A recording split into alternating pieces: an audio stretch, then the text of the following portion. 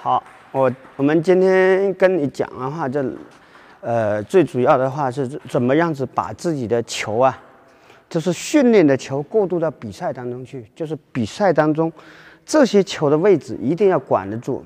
那么第一个注意啊，你看我们的下面的脚，那我们在这里等的时候，我准备发球等的时候，这个位置的有，那这个位置的球你要这样子去拉，啊，这个位置的球是这样子去拉。然后的话，就是在拉的过程当中，注意看弧线，判断好弧线。我们的小碎步不要是打完以后颠得太快，这种拉的这种球不要颠得太快，就有一点点启动就可以，知道吧？哎，我们尝试一下啊，你看啊，我们的护台位置是二分之一台，注意，你看这板球就侧身位就没走出来，来怎么要？这板怎么要？没要住啊，再来。再过来，你看，啊，快，绕住，你看，你看对不对？你看中线不对，你看你这个问题很严重。那你来去发一下，来，你去发一下，你在这里看，哎，你看，你绕过来的时候，这个小碎步是这样子，左脚右脚发力，这样子过去蹬，哎，有这个动作才是绕过来。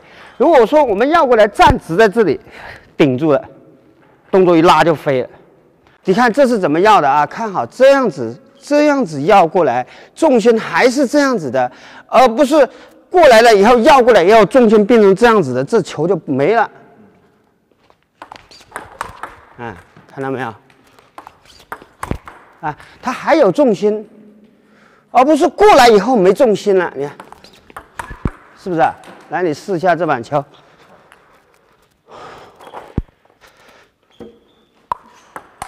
对，哎，拍头甩住，哎，腰是对了啊，注意，哎，侧身位的球一定是这样子跑的，你看，到了位置一定要有重心，对吧？很好啊，好，现在试下全台不定，呃，三分之二台不定点的这种球，注意这板球，不捡，对，不要捡，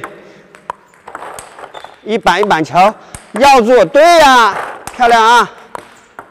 对，对，哎，对了，这个球就是要处理这方面的这个位置的球啊。明天过两天我再教你处理这方面的球，从这个范围这些球全部管，还有这个位置的球就出来这个位置的球啊。比如说碰到左手，人家发你一个小三角，这个球怎么去拉？